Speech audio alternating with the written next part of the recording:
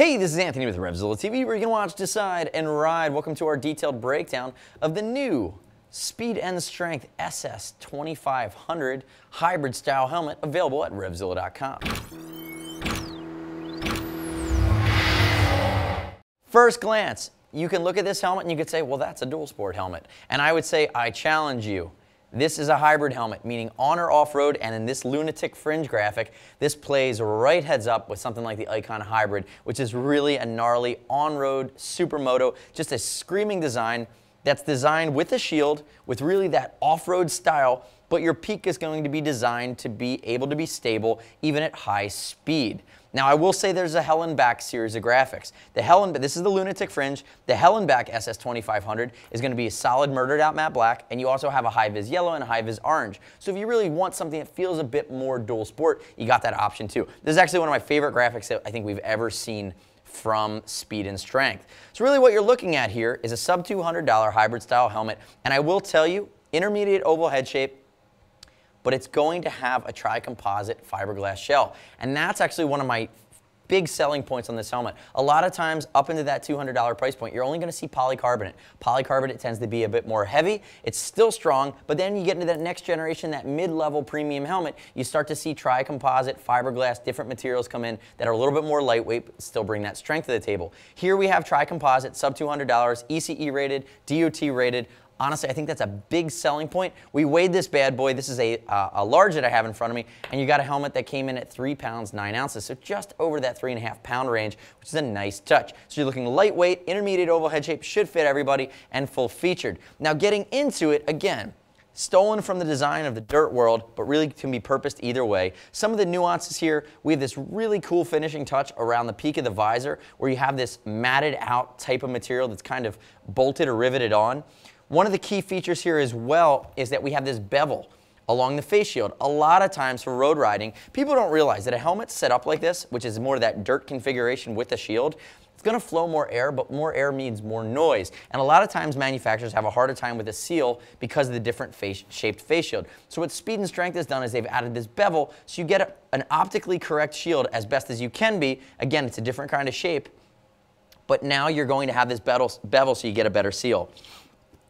Looking down to where on a dirt helmet you'd have more of an open area, now we have an open and closable vent, and that's operated by a switch that's on the inside of the, inside of the helmet here. So you can see right there, there's a switch moving with my hand that vents directly to the shield, directly to the mouth. Moving up on top, I like that they have these big cutaways. It allows for airflow, but it also allows easy access to your vents chimney vents, and then if we move to the back, you see more of these really cool rivets that kind of finish the design off. It's kind of one piece coming back that's molded, and we see our extractors back here as well. Another nice feature, we have, we have extractors down here along the side, and these are actually vented directly into the EPS. So you're gonna get some of that airflow that comes around your jawline, down across your temporal artery, back across the backside or low on your head, and you're gonna be able to pull it back. Notice too that we have a light ridge here. That light ridge is so you can, if you are going to dual sport this helmet, you can add your goggle strap and it's, it's going to have an area to sit against so you can easily and quickly position it. Now I will say that there are always trade-offs. One of the trade-offs in making a more quiet shield design is they didn't leave a ton of clearance here along the side if you really want to do goggles with the visor over top of it. But in all honesty, a lot of guys that are that hardcore are really going that down that, that dual sport rabbit hole, and that's a little bit of a different conversation. So for those of you that just want some, something really gnarly that looks great on the street that's going to make a statement, I don't think you should worry that the goggle strap is not going to have a ton of clearance there. We're looking at these aluminum bolts here. You can remove the peak, you can replace the peak, you can remove the shield, you can use this helmet without any shield at all and just put the peak on and again leave it in full dirt configuration. And if we start to break it down and move it underneath, let me get my donut out here. You have our speed strap system here from Speed and Strength. Notice our extra Velcro that allows you, especially if you're going to really rip on this helmet, you can make sure that you have full coverage so that speed straps, it's aluminum, it's not going to be against your chin. It's going to keep you comfortable. Moving in, we have our Cool Core liner. Cheek pads don't have a neck roll built into them. And you have to keep in mind that a helmet like this, again, you're sacrificing functionality for quiet. It's just par for the course. Whether you're upright riding, road riding, or you're dual sporting it, again, it's meant to be more in line with the functionality versus the quiet factor, so you don't have that all-encompassing neck roll. So we have our Cool Core cheek pads that are removable, three-point connection system, no surprises there. It's not going to be anything different than you'd expect from a rock solid helmet in that $200 range. Again, decently contoured. You're going to feel it against your face. And then we get to the liner system. I'm going to pull up my comfort liner here.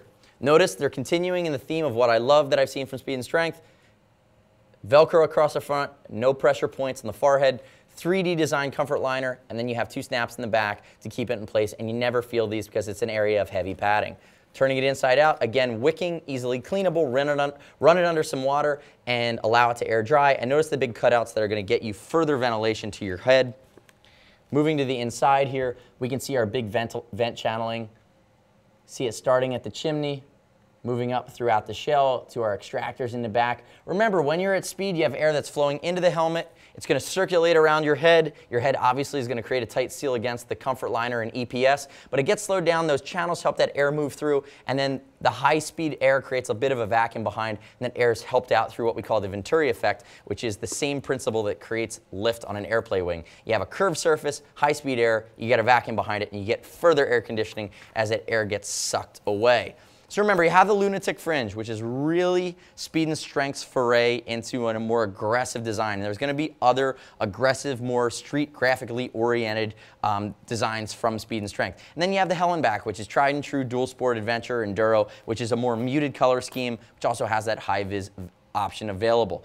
Let us know what you think about this offering from Speed and Strength, this 20X, uh, the Speed and Strength SS 2500 dual sport enduro hybrid helmet available at revzilla.com. I want to see your comments or your reviews on the product page or on our YouTube panel where you, you can always join the discussion. Click here, subscribe to us on YouTube. We're constantly rolling out new gear reviews every week at RevZilla.com. And if you want to talk with a geek and help compare and contrast some of the features of the Speed and Strength 2500 versus any of the other Speed and Strength models in the line, or against any of the other, you know, mid-range, and I, will call it mid-range. It's a mid-range, but honestly, the price point is rock solid on this guy. Uh, other dual sport helmets, we're happy to walk you through that too. See us at RevZilla.com or 877-792-9455. As always, it's over 39 bucks. We'll ship for free, exchange for free, no restock if you need to send it back to us, and you can always earn Teamzilla cash on any order over 100 bucks to allow you to save some money on your next order. Thanks for watching our detailed breakdown of the Speed and Strength SS2500 Enduro style hybrid helmet available at RevZilla.com slash speed and strength. I'm Anthony. We'll see you next time.